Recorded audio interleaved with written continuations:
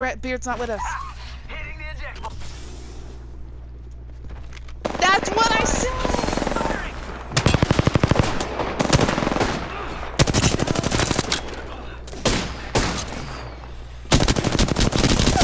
Knocked him.